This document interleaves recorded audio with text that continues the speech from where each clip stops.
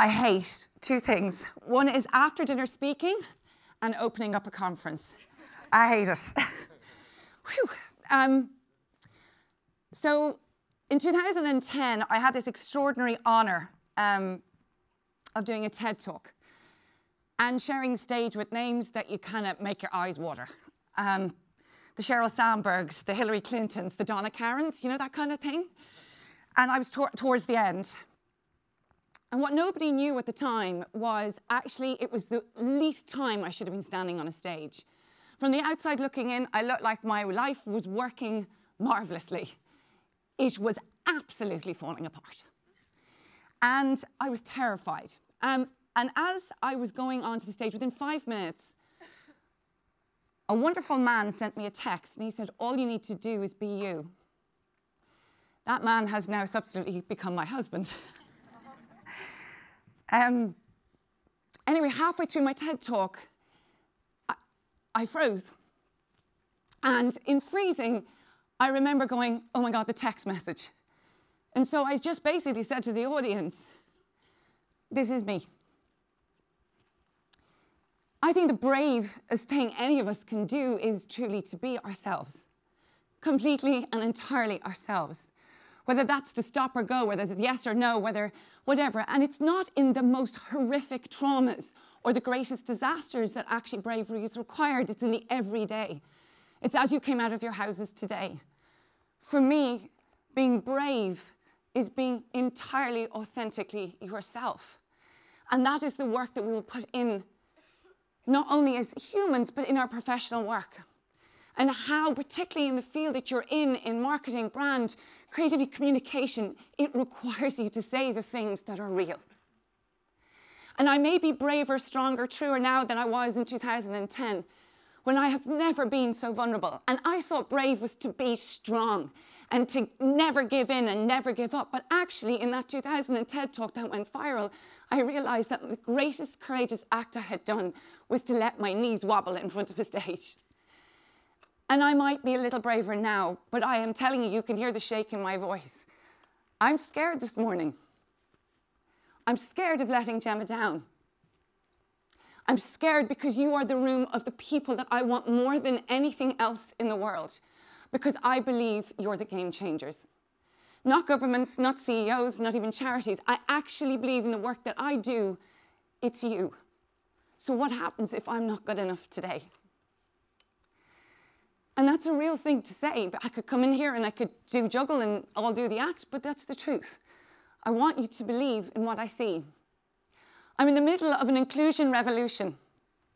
I don't believe in a la carte inclusion. I don't believe any company in the world can say they are inclusive or equal or believe in equality if we're willing to leave the 1.3 billion people in the world who happen to have a disability outside business. That 1.3 billion people is not a them or an us. Every single one of us in our lifetime are going to experience disability. Every single one of us. And yet we've never had a Bono for disability, nor did we ever have a Sheryl Sandberg.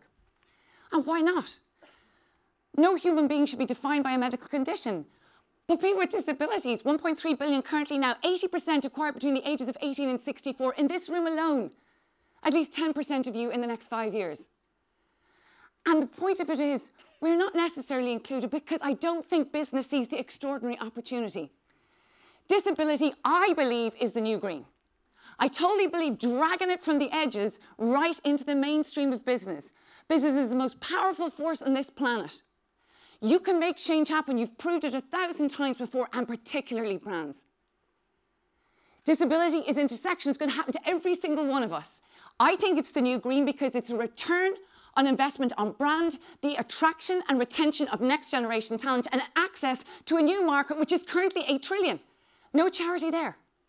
And the only way that I think that we can do this is get the world's greatest leaders, like the Sheryl Sandbergs, the greatest brands, like the Nikes, whether you like them or not to be brave, and the greatest platforms, and go out and say, here we are, do business with us. So you are the biggest and the most important room, and I can't thank Gemma enough for letting me stand here. But I wouldn't be here again if it wasn't for one key thing that happened just under two years ago. My wonderful father is a man called Jerry Casey. He's six foot six, size 15 feet, like we are talking massive. And he died very suddenly two years ago. And he was the one who had always said, be yourself, and I'm not going to use bad language, and bleep the bastards. Um, he always wanted us to be brave and courageous. In his passing, it was actually where I finally found the courage to bring the new green, to create a global inclusion revolution, to put disability on the business leadership agenda. It has been an incredible journey since his death.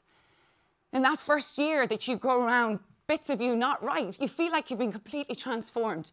And yet, in that pain, somehow, somehow, the passion that I have for this work, that we can all belong as ourselves. This isn't a call out for disability inclusion, it's a call out for human inclusion. If we get disability right, we get it right for everyone. And despite the pain and the sorrow and the lack of confidence that comes with grief, this passion that burns so much inside me to finish this business that I started off 18 years ago. And so I'm going to do something right now to tell you how I got through that and what for me being brave is. And the key thing that I hope that you're going to hold with you all the way through the day as you see all the speakers come up. So I'm going to ask the lights to be shut down if that's okay. I love a bit of dark. No kissing now in the back row. So I want you, for those of you who ever really get scared, the next time you're scared, the next time you're heartbroken, the next time that you don't think that you're good enough, sometimes lots of us look up at the stars and they're like diamonds in the sky. And there it's dark, but in those diamonds, you see them. See the diamond sitting on your lap. I call this phosphorus. For those of you who have been lucky enough to swim in the Aegean Sea or oceans around the world where phosphorus exists, it's like the diamonds fell into the sea. And if you move your hands around and you shake, the sea starts to light up with electricity. In this room of darkness right now, the greatest power is that light that you hold in your hand. To be brave is to fully embrace yourself and bring that into the work you do. It's not to ignore the bits of yourself. And when we're brave, all those lanyards light up and the world is genuinely a better place for everyone. So can we bring those lights up again? And why do I care so much? This phosphorus story has very, three very quick acts. One is, act one, labels are for jam jars. Act two is, when you lose it all magnificently. And act three is, wings. So, labels are for jam jars. 17 years old, and this is what was on the TED Talk. I had had three dreams. One was to be Mowgli from the Jungle Book, the other was to be a cowgirl, and the other was to be a biker chick, hence the leather. Um, and my father, the famous Jerry Casey, gave me a driving lesson for my birthday so I could go off and get my motorbike license. Woohoo! Listening to Led Zeppelin in my helmet. It was on that birthday, completely unexpected to me, that I found out I wouldn't be on a motorbike except pillion. On my 17th birthday, I found out I have been since birth, I am now, but even worse, registered blind. And I know you're probably looking at me going, she's wearing heels, that's bullshit. Can I just say, when did being visually impaired stop you wanting to have great shoes? Because it makes your ass look better, right? So the thing is, you also probably don't believe me. I can promise you in my bag there's a white stick, okay? With a big bauble at the end of it. And I use that to skip queues in airports and to get the attention I need for whatever I need. I would have used it in the queues getting in here today. you gotta always work with what you got, right? But let me explain to you because I know you don't believe me. I actually, well, like, you can't see it with the lights, but beyond my hand is just a world of Vaseline. It's particularly difficult when you're in crowds because I don't really know the difference between a man and woman. I can smell the difference. But what I can definitely tell you, which my husband is absolutely thrilled about because he's bald and very pink, he looks like George Clooney to me. You don't get to be better looking, right? He has the biggest trip of his life. But I really can't see the difference between the gents and the ladies' toilets is a triangle, for God's sake, and they're getting more smaller and smaller. So bring on toilets for everyone, unisex toilets, love it.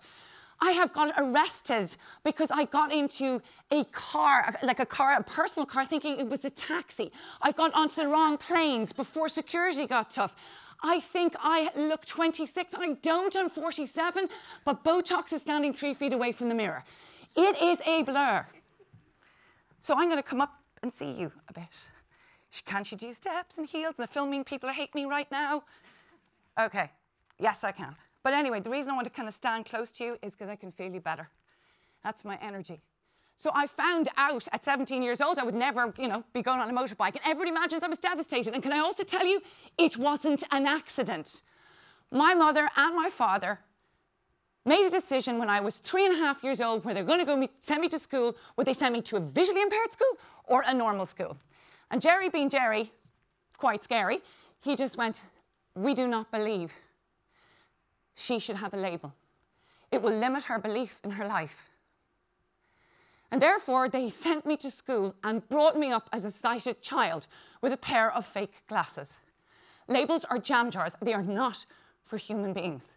And he wanted my wings to be the biggest they could ever be and did not want them clipped. So I went into school thinking other kids with glasses are exactly the same as me. I was shite at ball sports because I couldn't see anything. The other thing nobody ever tells you is your balance is completely off. Kissing boys are amazing because everybody was beautiful until you kind of got that close. But um, the one thing my dad did do, knowing that I couldn't see very well, right? He had this great idea, and this is one of my big things about being brave, is your intuition fearlessly, fearlessly believing in your intuition. That light that I asked you to hold, that is your spirit and your intuition. And this is how I learnt it. He knew I couldn't do all the things like hit tennis balls and stuff. And so the sport that he introduced me to was sailing. And the shore of Lough Derg, which is a beautiful lake in Ireland, with my mum standing beside him, he put a life jacket on me. I'd never sailed before. And he said, I want you to close your eyes now, Caroline, and feel where the sun is and feel the wind in your face. My mother was standing beside him and they were having a massive row, right? Like she did not approve of this at all. And so he puts me in this tiny little boat. And he gets in a motorboat and he goes out in the lake and he goes round and round. He releases my sailing boat and he goes, sail home. How many of you are parents? Like, this is really not a good situation, right?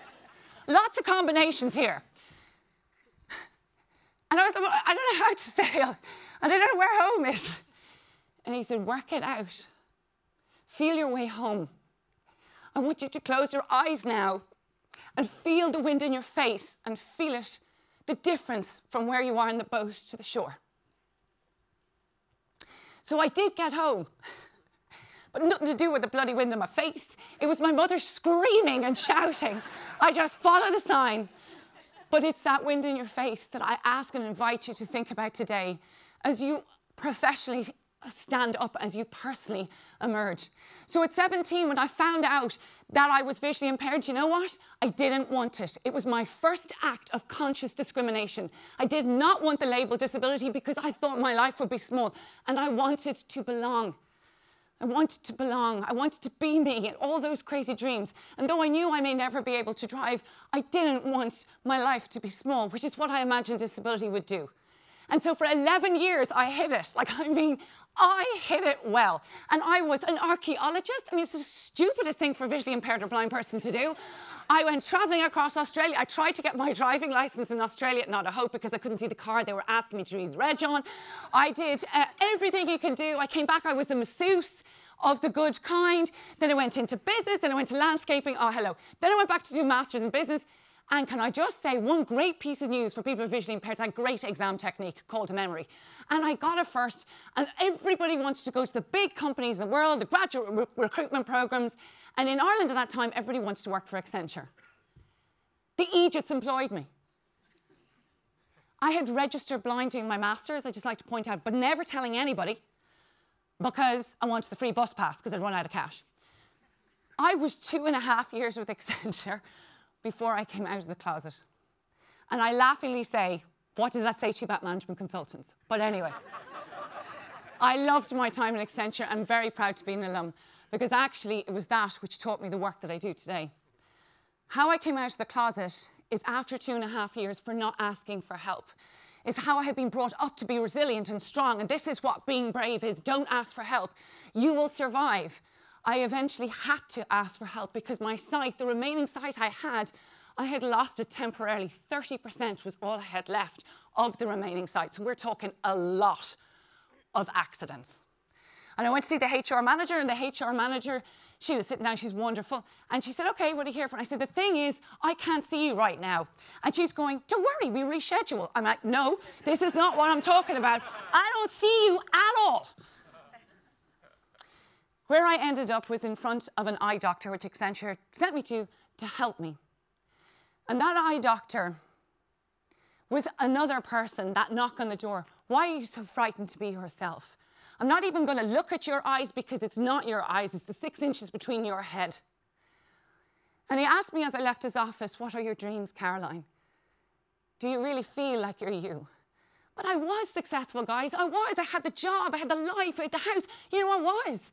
But was I rocking and rolling inside? No, because it's exhausting trying to be somebody else. It's exhausting trying to be perfect.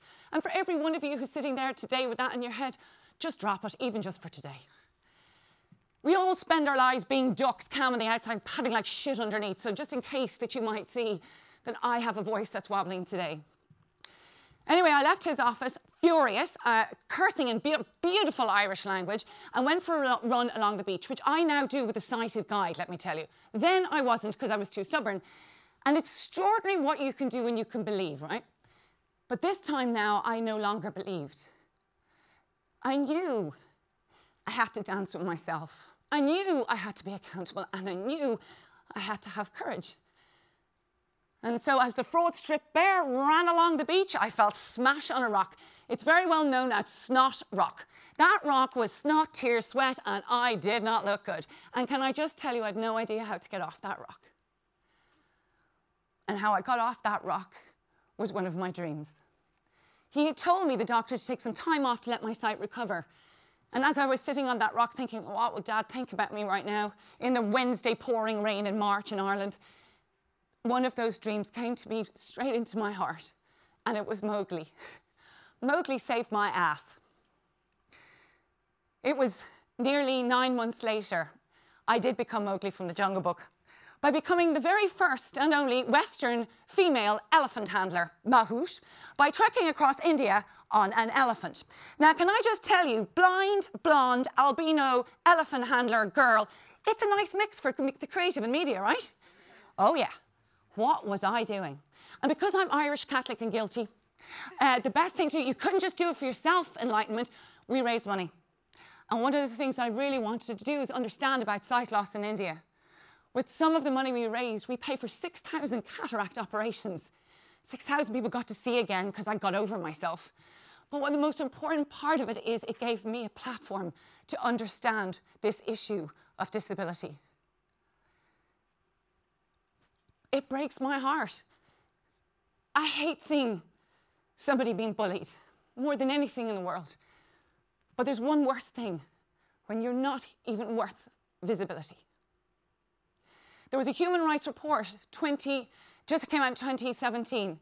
In the 20 years that have existed since the last one, the lives of people with disabilities have not improved enough. And I think it's because you guys aren't playing. And so when I came off that elephant, I set myself a goal to actually engage business in the extraordinary opportunity that exists here. And I spent a long time, and we won awards, and we were in Clinton Global Initiative, World Economic Forum, and Davos, and Ashoka's, and everything else.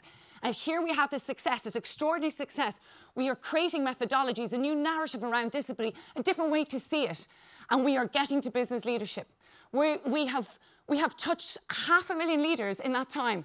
And the worst thing about success, the worst part of it all is you become afraid again because you have more to lose. And it's very true. Beware of success.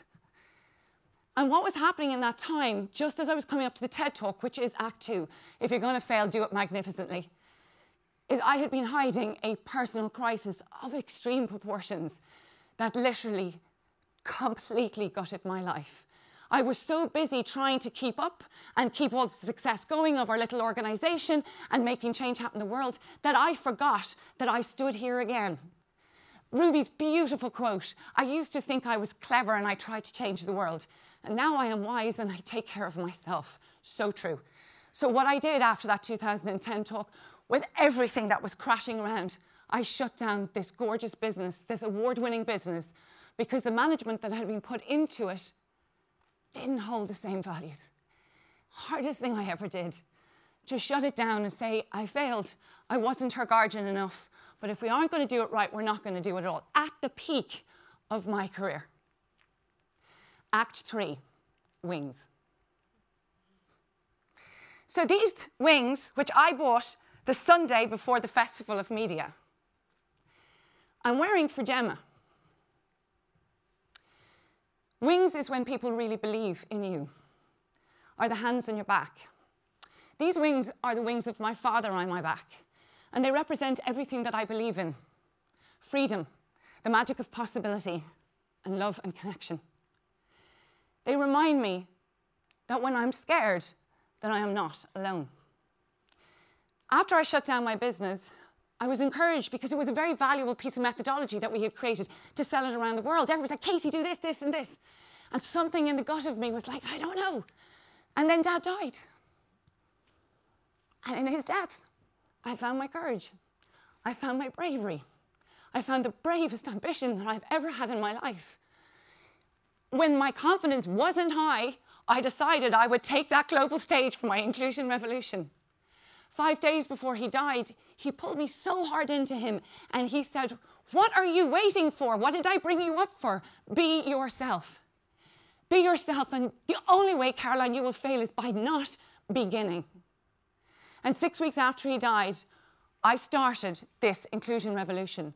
Launched in August, hashtag valuable, is asking for businesses around the world, but it's not businesses, it's business leadership to recognize the value and the worth of this market, which will touch us all.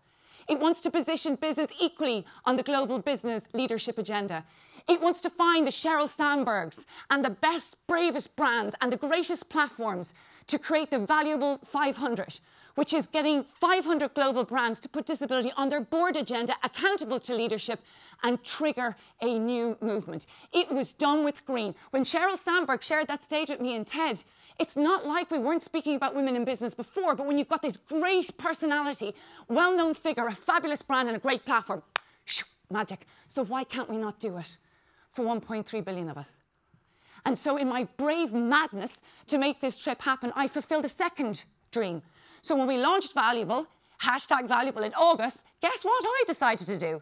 Ride across Colombia on a horse to make it happen.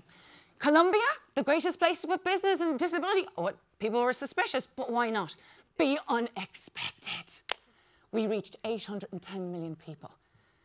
I had to remortgage my house because 53 businesses said no, except for Channel 4 and Fossil.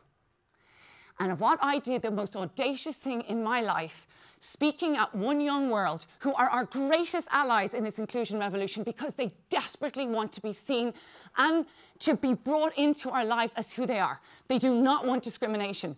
So I challenged them, stood in the audience, and you could just see David Jones and Kate Robertson trying to get me off the stage because they knew what I was going to do. But Cher was coming on after me, not a chance. So I was like, there has to be CEOs in this audience. And I stood there and I said, get off the fence. I don't, I'm not inspiration porn. It's not inspiring just to be a person with a disability. I want one leader, one leader to stand here with me before I leave. Because our call to action was to find five Sheryl Sandbergs and Paul Polmans, 20 next generation leaders, and get on the main stage of Davos for 2019. So I stood there and said, Where are you? and suddenly the room moved. 12 stood but one stood and has stayed standing. And that was Paul Polman. He does it for a lot of us. But you know the most extraordinary thing about leadership? Sometimes you do have to stand alone. And stand what do you really believe in? I didn't expect him to call me two weeks later and say, Right, kiddo, how are you going to make this happen? I'm like, I'm taking a rest. He said, No, you're now going to start. I stand here literally a year ago that I got a call from Paul. We are going to get disability and business on the main stage of Davos for the first time in the world. It will be historic and a landmark movement.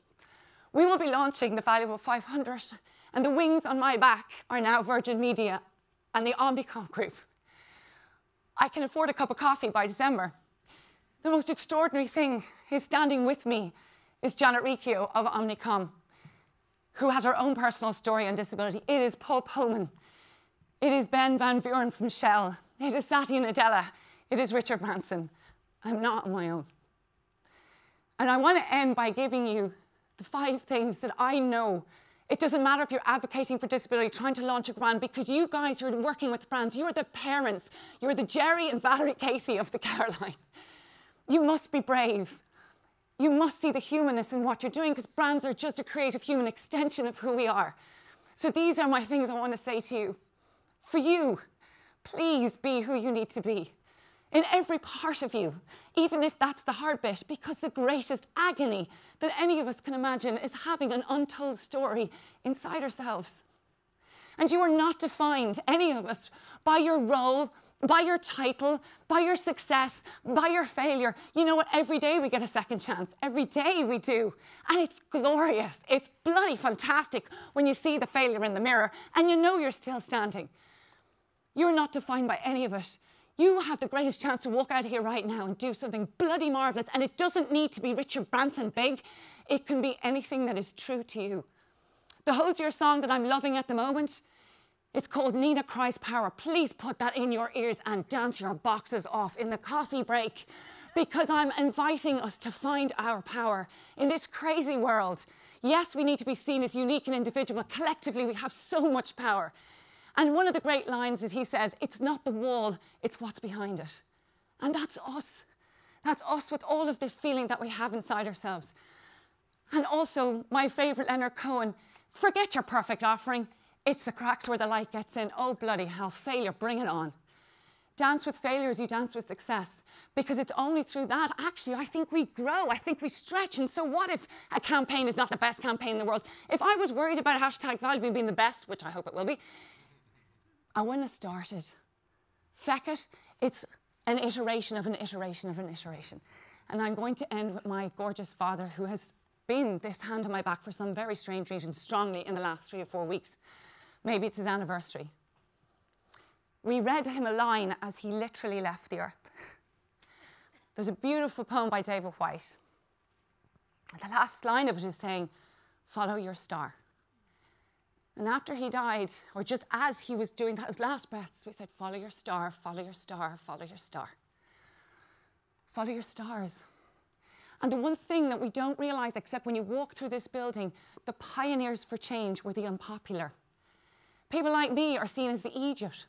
People look at my lanyard and run away because there were disabilities on it and there must be somebody cooler to talk to. But that's okay. When you're doing innovation, when you're trying to create something new, when you're trying to stand out, you've got to be brave. So my, my encouragement is how I will end is how I was here, dangerous dreaming. You say I dare, dare to be brave? Well, I tell you the best way of living your life with all of its ups and downs is with your eyes wide open and so this is the quote All men dream, but not equally. There are those of us who dream at night, in dusty recesses of our mind, and we wake in the day and we just think, oh, who am I? It's just vanity. But there's others of us in the world who dream in the day with our eyes wide, wide open. And we are dangerous.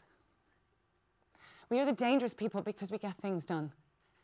I cannot wait to see who the dangerous dreamers are who will be part of our tribe as we create an inclusion revolution for all.